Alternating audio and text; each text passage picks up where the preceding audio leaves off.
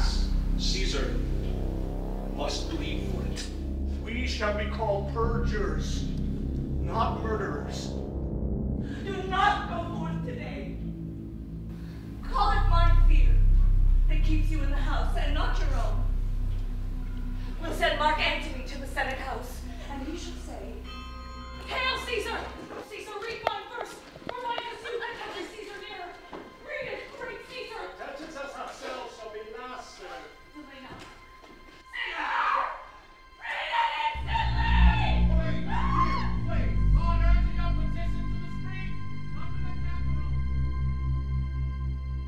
No!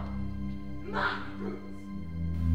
But you have some sick offense within your mind, which by the right and virtue of my place I ought to know of.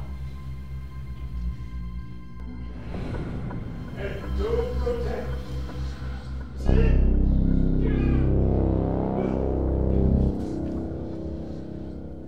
Blood and destruction shall be so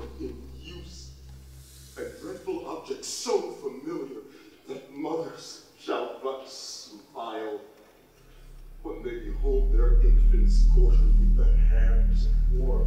I draw a sword against conspirators. The enemy increaseth every day. We, at the height, are ready to decline. There is a tide in the affairs of men, which taken at the flood